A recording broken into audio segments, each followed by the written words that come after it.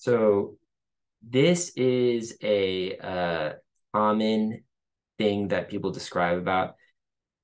The issue of a vestibular migraine um, is that the symptoms are episodic. And uh, you have these episodes in which you the way i describe the vestibular system is like you're holding two cups of water of equal length of equal volume.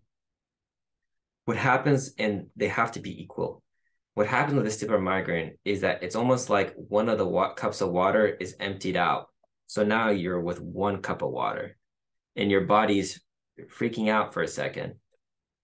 When this happens, you have these things what we call nystagmus, what Jennifer describes, where you have quick movements of your eye. And that's having to do with something called your vestibular ocular reflex.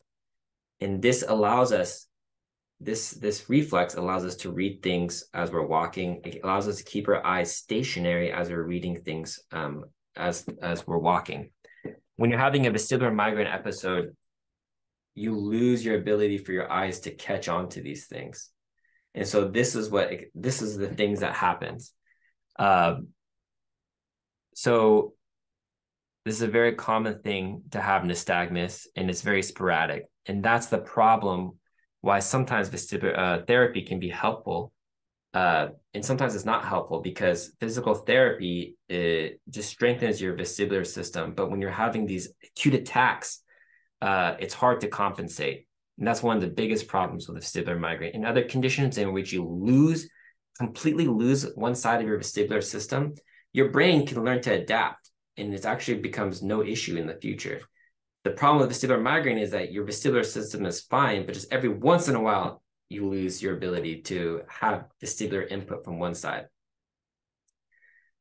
Well, that was a long-winded question, but hopefully that was helpful. All right, another question is from Denise. Says, uh, I'm feeling faint. I can't stand and talk to people for very long. I get these sudden rushes and feel like I'm all faint. I have vestibular migraine and triple PD. Uh, so that's tough. So vestibular migraine and triple PD usually come together feeling faint is uh is more classic with triple PD, uh, and uh, it's hard. It's really hard. You know, these conditions they continue they coexist together sometimes, and uh, my my opinion is that they're all a migraine related condition, but that's a different story itself. Uh, feeling faint is uh, a little bit more rare uh, most people just have this uh, acute attacks of room spinning vertigo or just feeling like they're drunk on their feet. Feeling faint can sometimes be other things going on. Most often, if you feel it more often when you stand up from a sitting position uh, and you feel like you're going to pass out, that could be other stuff going on, something called orthostatic hypotension. All right, Emily says motion, like in a car, uh, fragrances and barometric pressures have so much uh, to do with it. Uh, yeah, textbook vestibular migraine. So motion sickness to me is one of the classic symptoms that I ask people. Uh, we all have a baseline motion sickness problem. Um, in patients who have vestibular migraine, that threshold for motion sickness is much lower. So classically, almost everyone who has vestibular migraine has a lifelong history of just getting really sick in the back of cars or not being able to tolerate being on um, ships or sailboats or classically like uh, when you watch one of those crazy movies um, you're just your brain has a, a, particularly me included not just yours is uh, particularly difficulty uh, tolerating uh, complex things and complex visual patterns um, and so this is very very common and so the thought is when your symptoms start getting better this motion sickness and this sensitivity to fragrances and the atmospheric changes, you become less sensitive to it, and your um, and all your symptoms start getting better and better. And this is actually a key point that I want to focus on is that the dizziness component of vestibular migraine is a big deal, but for many of you guys, uh, you'll start recognizing that there's all these other random stuff going on in your life that are migraine related that you're not recognizing. Like Emily has noticed the you know the motion sickness, the fragrance, barometric pressure, and stuff like that. But there's so many other things, you know, ear fullness, ear pain, neck pain, this intense sensation when you touch your skin, these all these symptoms that you know you've been living with that you haven't really that you don't know these weird things happening are often migraine related and they get better as your dizziness gets better. So it's like a added bonus. Uh joanne talks about when you think you're cured for months and the vestibular migraine comes back with a bang. That's the problem and that's uh, why it's so important to understand the fundamentals and get down to the root causes of vestibular migraine um, so uh, you're so below threshold that the odds of these things happening becomes a lot more rare uh, Yvette talks about motion sensitivity, sensitivity, visual vertigo, wishing I can get back to drive again, which is something that I love, and get disappointed when there's sudden spins when I turn my head. Uh, this there's a lot to unpack here. So again, motion sensitivity, again, the common theme people always discuss uh, and are bothered by. Um, that is very common. Uh, and again, gets better with treatment. Um, this sudden turning of the head is is really disorienting for people.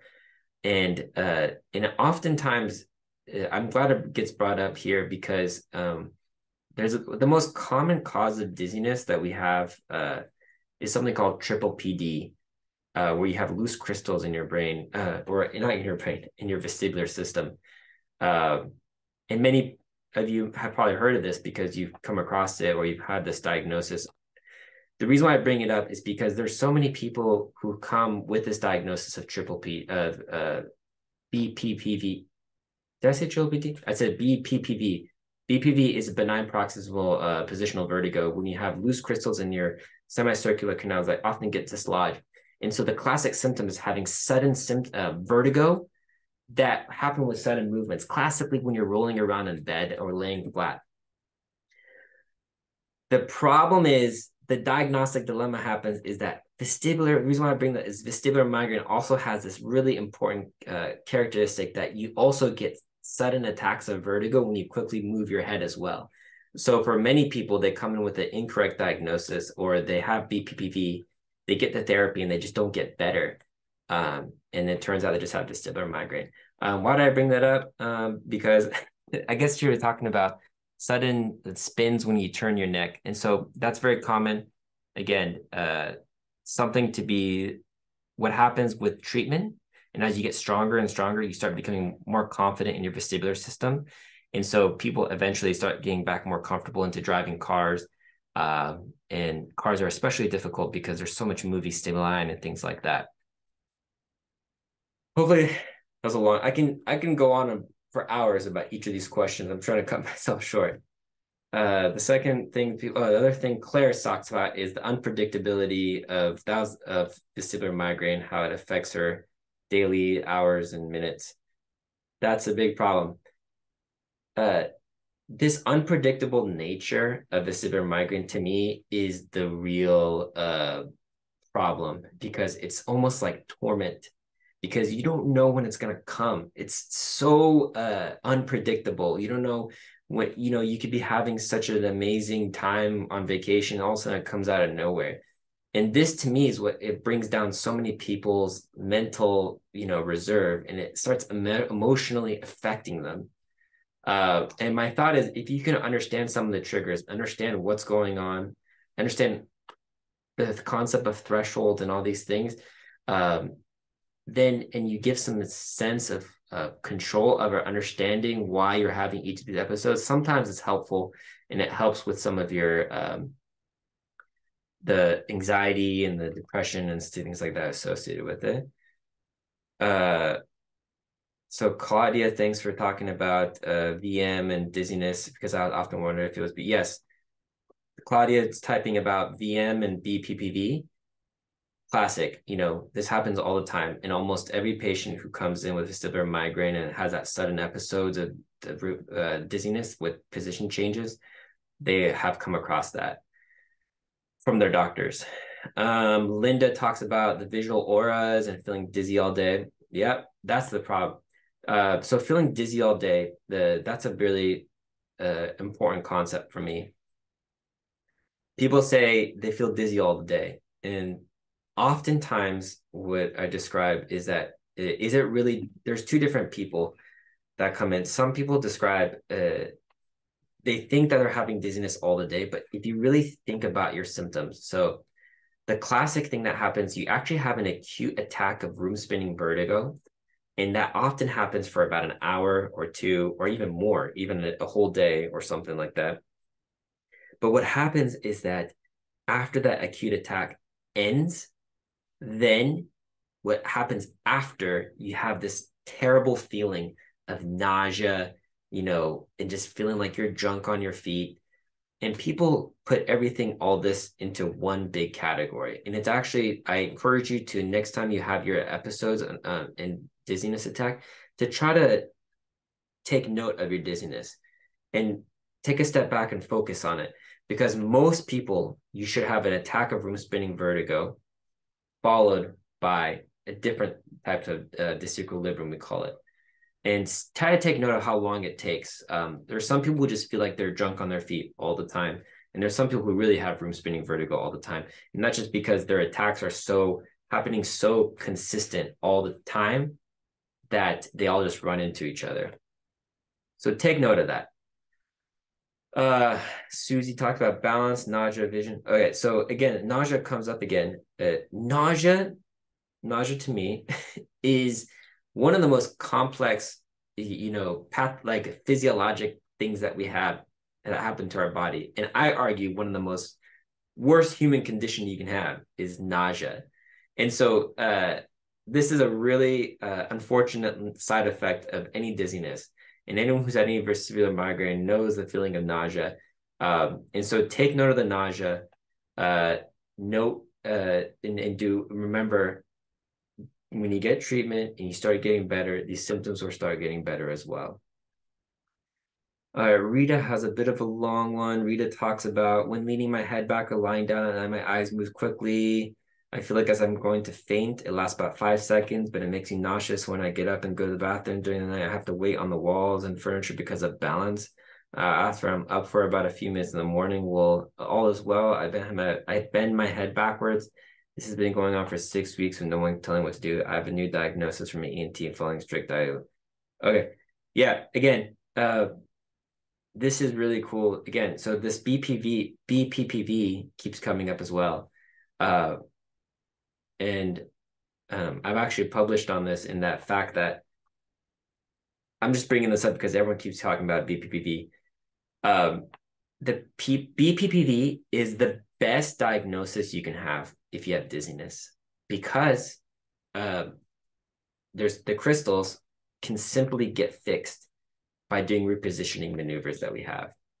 Now, the problem is if you've been diagnosed with BPPV and you're not getting better with the repositioning and the conventional treatments that we have, now this raises the alarm that you might have a migraine process going on. And I've written extensively about this in that the overlap between those who have BPPV and a migraine process is too great of a coincidence. And so the theory is um, these are all this is why vestibular migraine and this these conditions are so quickly progressing is because we're constantly trying to figure out what's there's there's things out there that as researchers as doctors we're trying to figure out. The concept is those people who are refractory to the treatments of the con of the of the standard uh, you know Dix Hallpike and Epley maneuvers that don't get better with time if they if uh, you get a good enough migraine history a lot of the symptoms actually correlate with migraine triggers and some people get better with migraine treatments in itself. That's uh that's my thing. If anyone else has any other questions let me know uh, I'm really um, excited to hang out with you, and this is my favorite thing to talk about. I can talk about it all day, every day.